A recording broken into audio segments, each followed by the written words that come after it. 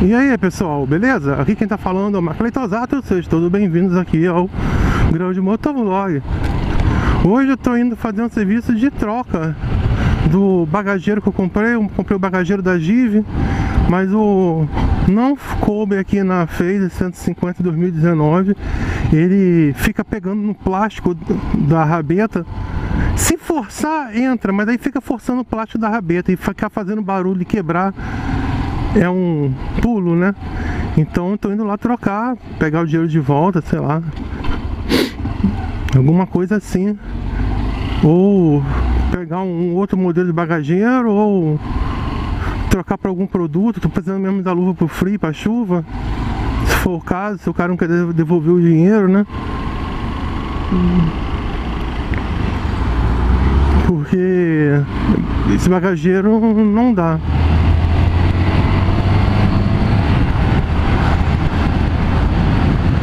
tem condição de ficar assim.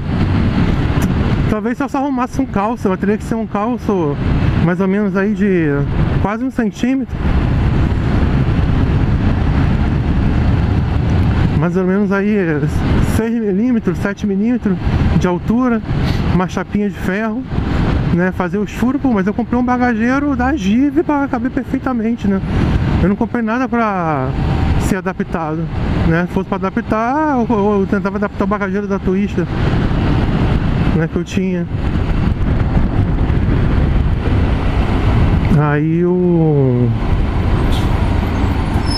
Vamos lá, vamos trocar isso daí porque não dá pra ficar assim, né?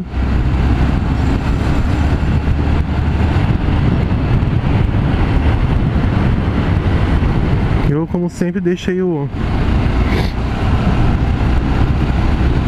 bolso do celular aberto.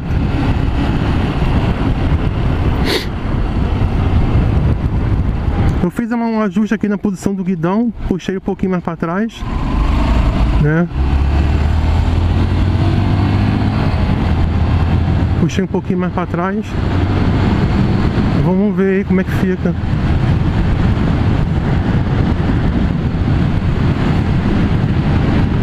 Ali no sinal tirar a luz para poder botar o fechar o bolso do celular. Ele fica pegando a luva.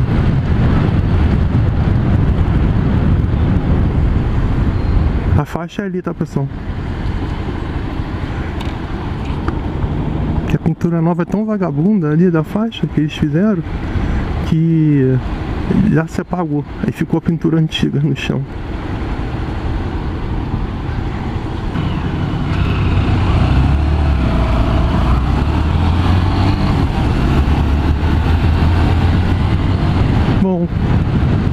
Apesar do vídeo não é assunto bom, vamos lá. Vou precisar usar o, o, o, botar o bagageiro.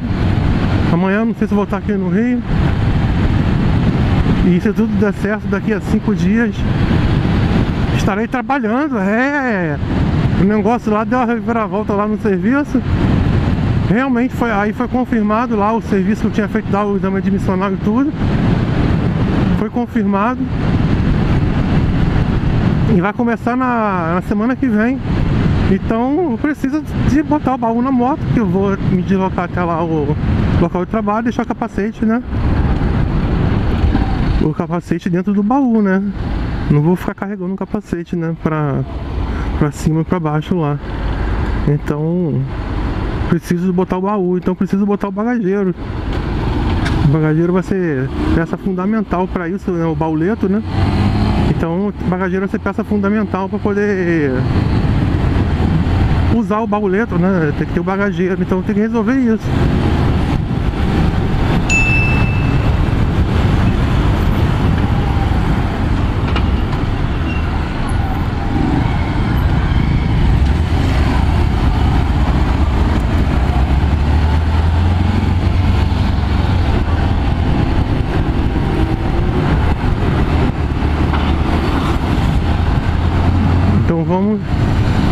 lá eu prefiro o dinheiro de volta, lógico. Que eu compro bagageiro em outra loja, nem que seja da Protorque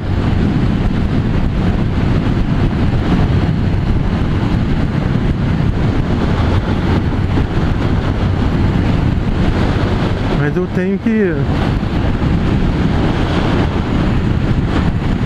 ou se não for possível trocar para alguma outra coisa interessante lá eu tava vendo o guidão da Rock Solid e não vai ficar bom.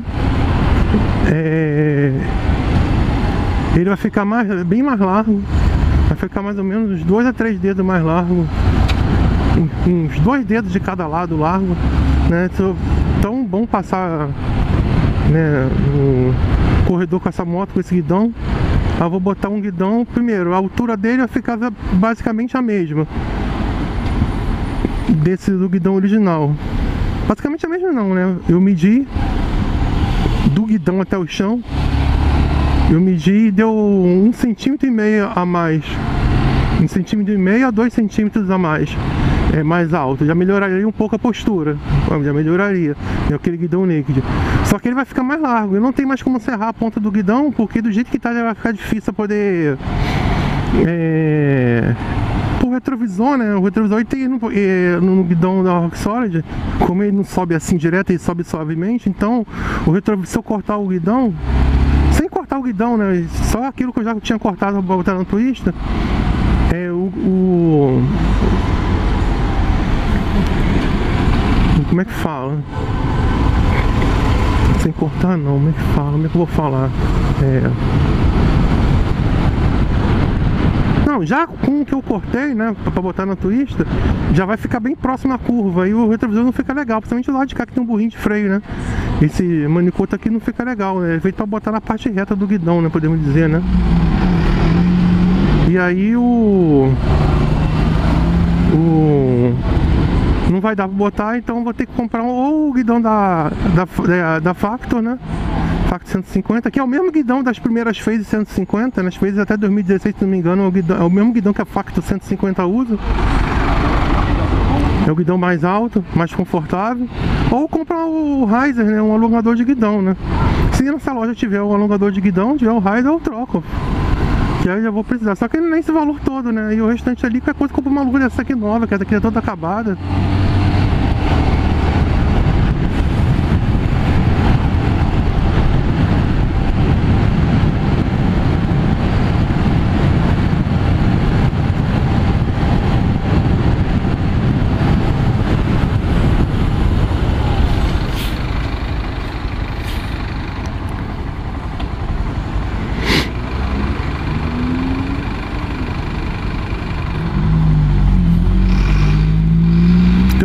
Passando sinal, ó. Quem quiser da prefeitura, agora só quiser anotar a placa aí.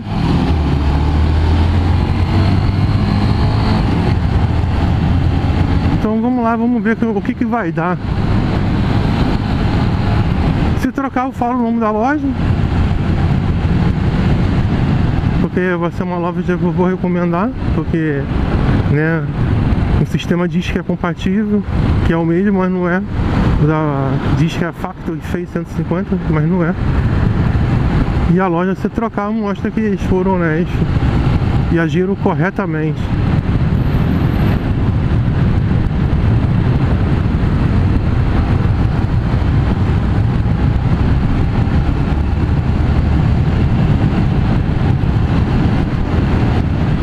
falar, eu tive um vídeo, foi é, restringindo a monetização, monetização, monetização dele foi o vídeo que eu peguei estrada, vou fazer o teste de estrada da Face 150 né? Eu não achei nada demais o vídeo, mas eu fui na estrada e no velocímetro mostrou 1,7 km por hora Apesar que é no, no velocímetro painel, né? Nós sabemos que a Face, é, assim como a Cross, tem uma diferença de pelo menos 7 a 10 km por hora Ou seja, eu devia estar a 110 e que é o limite da rodovia onde eu estava, né? Ou foi por causa disso, ou tava muito barulho por causa do vento, né? Talvez o sistema de YouTube pode ter achado que eu tava com escape aberto, esportivo, né? Então, eu suponho que seja isso, né? Vamos ver se meus vídeos posteriores a esse é, também não serão limitado a monetização dele, porque se não for, então acredito que seja um desses dois fatores, né? Faz muito tempo que eu não faço vídeo na estrada e faz. Pô, eu só tenho um, um vídeo que não foi monetizado, que, que, que foi bloqueada a monetização por causa do. foi que mostrei sangue, né? Quando caí, né?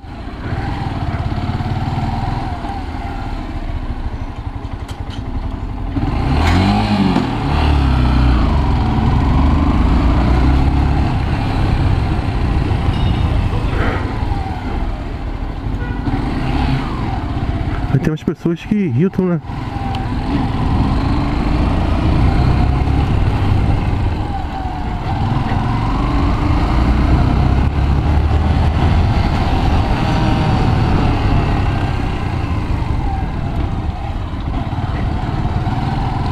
Vamos lá, tô chegando aqui na loja, pessoal, já volto, tá? E aí, pessoal, tô saindo daqui da loja, All Star Moto, olaria, rapaz ligou com a Jeep, a Jeep falou, eu falei, poxa, mas quando eu entrei em contato com eles, me deram outro número de modelo compatível. Aí ele viu lá e me deu duas opções, né? Esperar para resolver ou pegar, pegar o dinheiro. Falei com ele eu preciso de bagageiro, você não tem de outra marca? Deixa eu fechar aqui que ele me deu o dinheiro. O dinheiro tá aqui e o bolso tava aberto. É... Aí falou, não, não tem. Inclusive esse era o último que ele me vendeu. Inclusive esse aqui acho que era o último, né? Quando ele me vendeu, falou que era o último, ele nem tinha feito mais pedido ainda. Segundo ele, só, só tinha mais um, acho.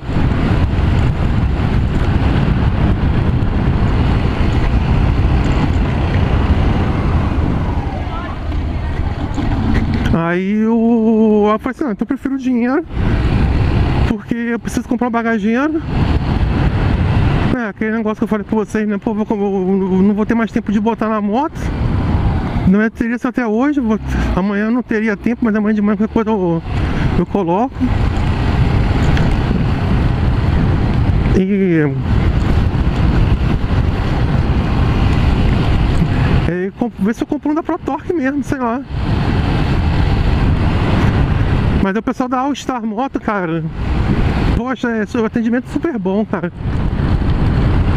Recomendo vocês aqui em Olaria, na rua do Hospital Balbino, seguindo em frente lá perto do do ponto final do antigo 484. Não sei se ainda tem 484, 485. Faz de ponto final aqui. Lá perto em frente o, a linha do trem da Leopoldina, do ramal da Leopoldina. Quase lá em frente da rua.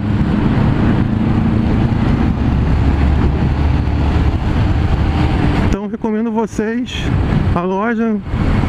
Ele ligou o pessoal da GIV e tal, conversou e tal. Eu falei com ele, poxa, cara, é menos.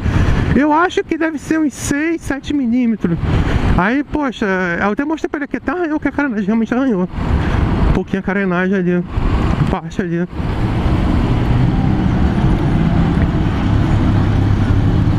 Aí tem que Aí agora vou correr atrás, né? Vou correr atrás. Nem que eu compro um. Esse era da Give, né? Poxa, eu queria tanto da Give, cara. Pô, um negócio bom e tal. Tem o modelo 2112 que foi. Esse era o 2624,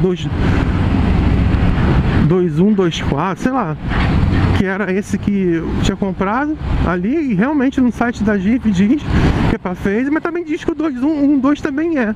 Ou seja, é,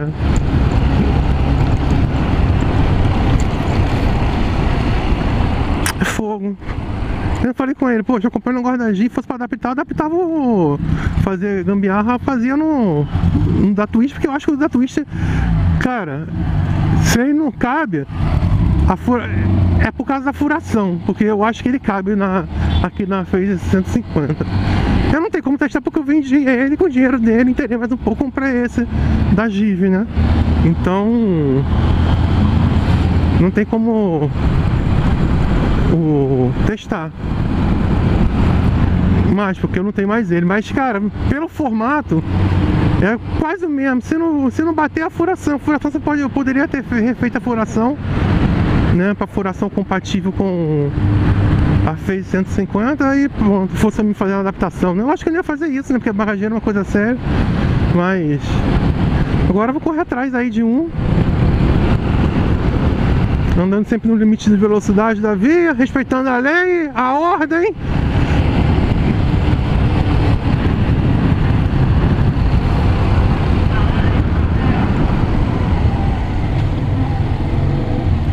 É, se eu fosse guidão da Rock Solid, não ia conseguir fazer isso, porque ele é muito largo. Se eu morasse talvez numa cidade que tivesse pouco corredor, né?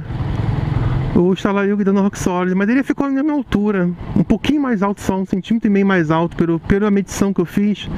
Né? A moto no chão, peguei a fita métrica do chão até aqui, uma trena, aquela trena de carretel, né? Fala, né? Que, que, que enrola dentro do negocinho. Aí deu um, entre um centímetro e meio e dois, um centímetro e meio, vamos botar. Um centímetro e meio mais alto é melhor? Melhor, mas eu tava vendo os alongadores de guidões aí que são 3 centímetros. O que que eu fiz? Eu, eu instalei a base do guidão, né, da Rock Solid.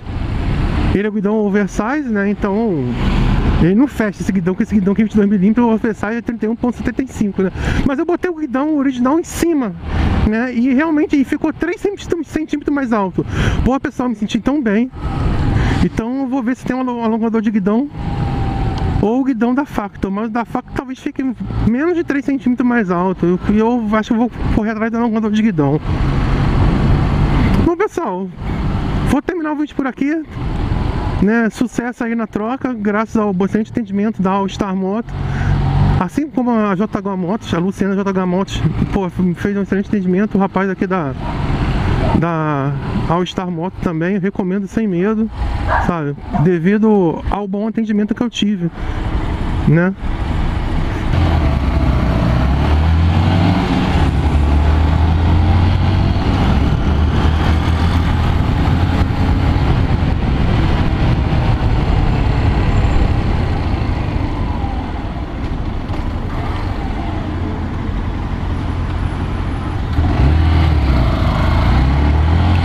aí, pessoal. Obrigado por assistir meu vídeo. Não se esqueça de me seguir nas redes sociais. Os links estão passando aí na tela e também estão todos na descrição do vídeo, valeu?